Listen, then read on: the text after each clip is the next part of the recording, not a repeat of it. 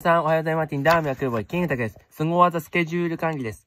スケジュール、納期の遅刻とか遅延、アポスカシ、すっぽかしですね。はい。ダブルブッキング、ドタキャン、よくありますよね、これね。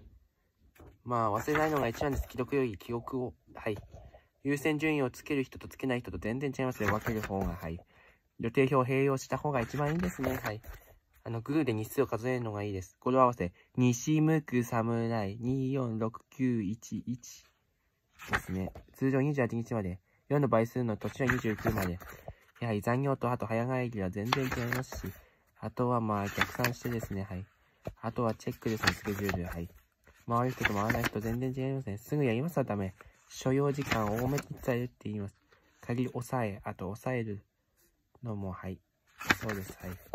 あとは、乗車メンバーの動きをして、事前に進むのが一番です。容量ですね。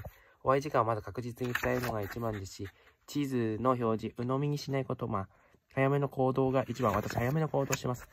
まあ、ランチタイムで有意義に過ごすのが一番です。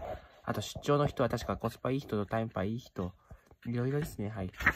予約取るのが一番。あと、今インドメール送る人だって、まあ、日時と、あと予定の前日ですね。早めが一番。以上です。バイバイ。